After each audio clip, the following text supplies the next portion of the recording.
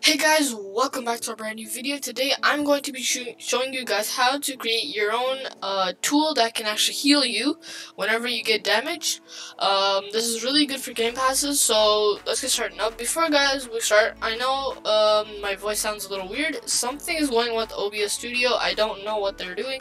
Uh, something's wrong. Um, maybe gonna fix it soon.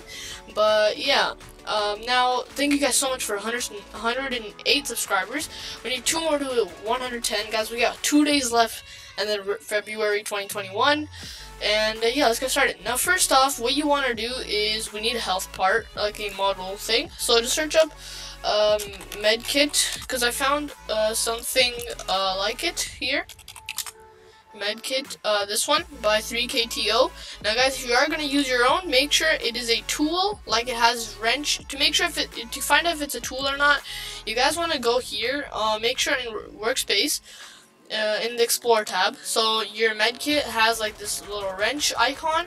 That means it's a tool. If it has a model, like a something else like this, like a brick, then that means it's the wrong one. You need a tool because you can't put it in the starter pack then.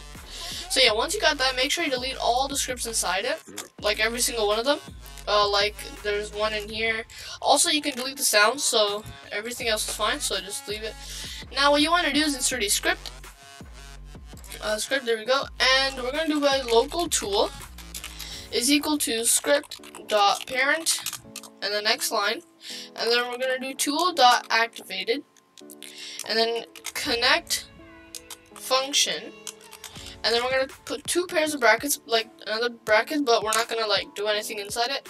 And then we're gonna do local humanoid. Uh, humanoid is equal to tool dot parent, and then find first child. Oops, I did, I did it wrong here.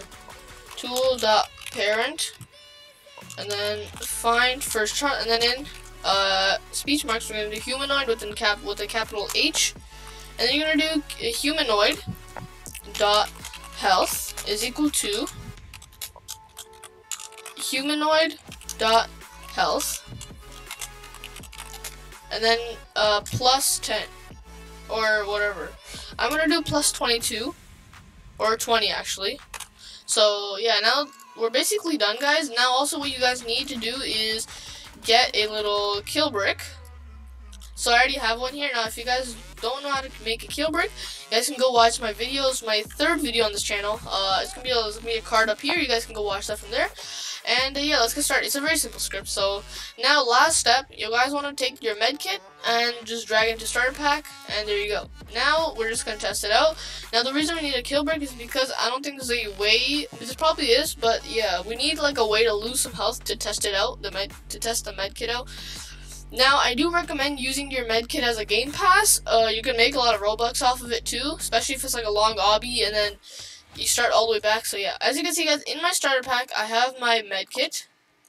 What was that? Oh yeah, I started glitching it, yeah. Uh, something's, there we go. Alright, I was lagging.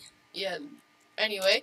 So as you can see guys, I lost some health because I touched my brick here.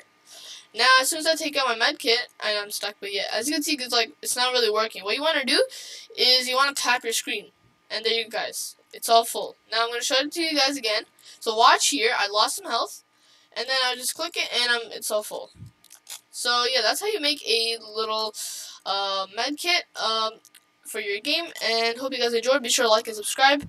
Two more subscribers to till... Um, 110 subscribers. And yeah, thank you guys for watching. Be sure to like and subscribe, and I'll see you guys in the next video.